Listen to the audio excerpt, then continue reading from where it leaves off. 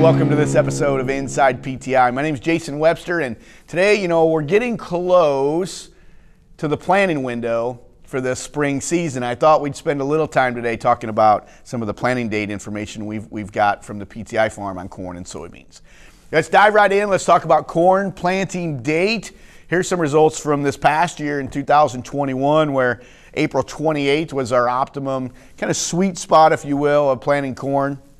The thing that really concerned me uh, this past year in 2021 was as we got really late planting dates um, after May 5th, just, just severe yield penalty by late planting this past year. You look at some of the dollar values. This is how I kind of like to separate it out and say, okay, what did it cost me if I planted too early?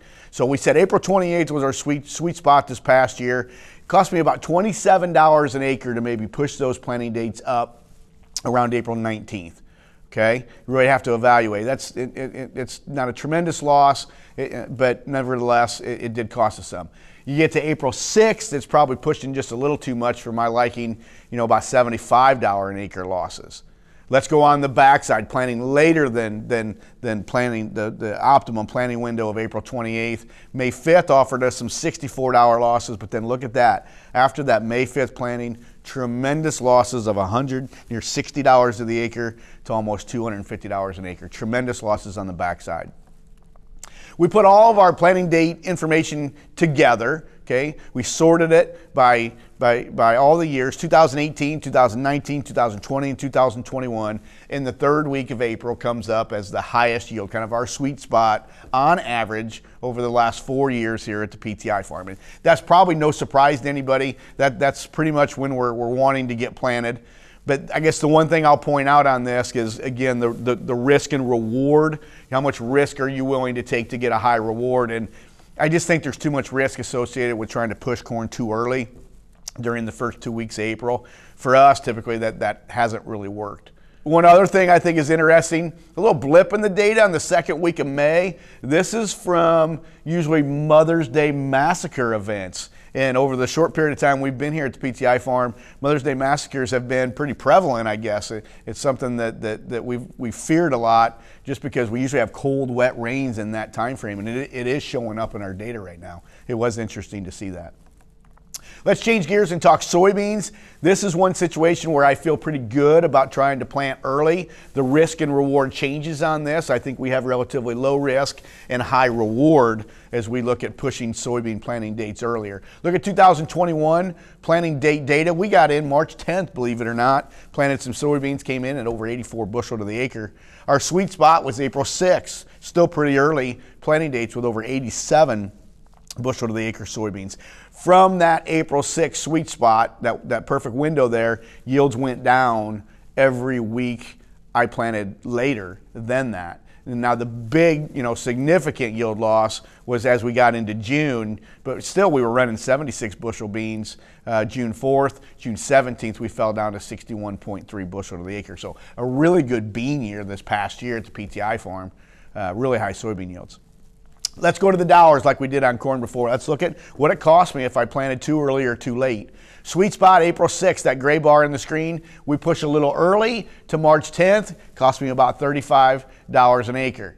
I go on the backside a little bit later than the April 6th. I got in on April 19th, real close to that same loss, about $40 to the acre, and then things start to change a little bit. May 22nd, a $63 loss per acre, and then when we got into June, tremendous losses $130 to even over $300 per acre losses. Just goes to show you, we can plant beans a little earlier, and I, I do think there's somewhat low risk uh, with this.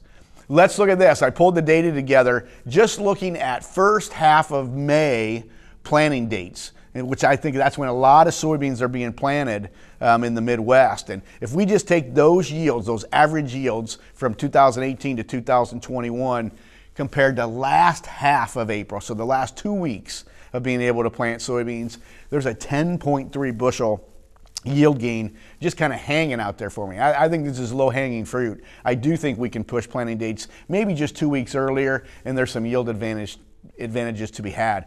Get this, our data would say that we get to the first half of April and there's even more yield. We're, we're pushing average yields over 80 bushel in this situation. And even in the last half of March, we're over 85. And as a grower, you may say, well, geez, I don't know if I could ever plant in March. Get this, the four years we've been at PTI, we've been able to plant beans in March two of the four years that we've been here. So today's Inside PTI agronomy tip of the day is, when is the right time to plant corn and soybeans? Well, I'll tell you, my philosophy is this. If, I, if I'm given the opportunity to plant early, soybeans is gonna be my go-to crop. Now I think cold soils are okay for soybeans, though that doesn't really bother me. The thing is, it's going to have to be fit. We just can't plant soybeans in the mud. You can put all the technology on a planter in the world, but if you're gonna plant the crop in the mud, it could be a dud.